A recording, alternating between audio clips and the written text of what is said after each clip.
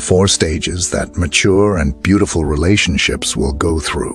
Watch until the end, especially the last one, to understand where your problems might be. The first stage is the happy together phase.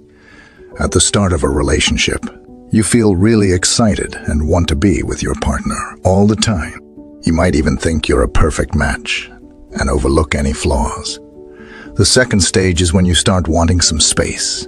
This is when little conflicts start to pop up. One person might become less passionate and the other might feel a bit left out. It's like a time of adjusting and finding your own independence. The third stage is when conflicts become bigger. Differences in upbringing due to family backgrounds and individual growth cause disparities in perspectives and habits. If you can't handle these clashes, well, they can grow into big fights. Sometimes one person might start feeling tired and unhappy, wondering if the effort is worth it. This can lead to distance between you, and it's often when breakups happen. The fourth stage is the calm phase. After going through ups and downs, you both learn to solve your problems and get better at being together. Your relationship might not be as intense, but it's stronger.